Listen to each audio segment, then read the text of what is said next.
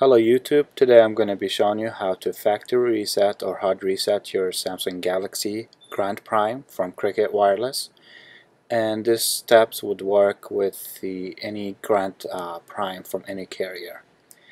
Please guys take the time to like and subscribe our channel for more tutorials and let's start with the tutorial.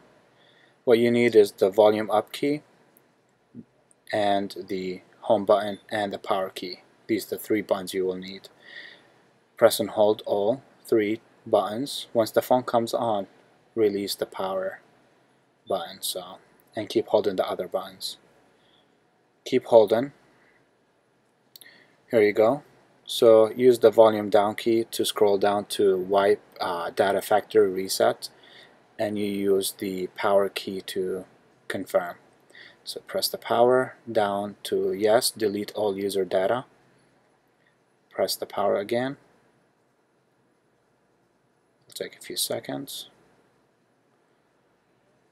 Here you go. Let's down to wipe cache partition, power key, and reboot your device, the power key again. This is it guys. If you found this helpful, please take the time to like and subscribe our channel for more tutorial. Thank you guys for watching.